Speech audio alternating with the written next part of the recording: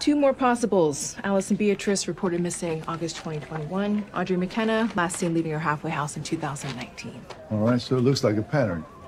All reported missing in the last five years, all transient, either homeless or in and out of halfway houses. He's targeting the most vulnerable, women on the fringe of society. Well, at least now you think that there is a he.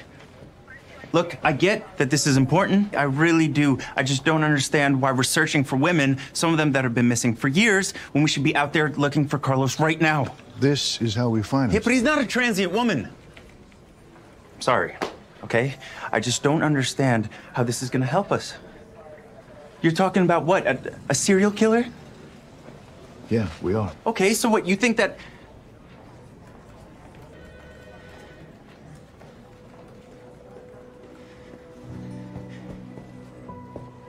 You think that Carlos?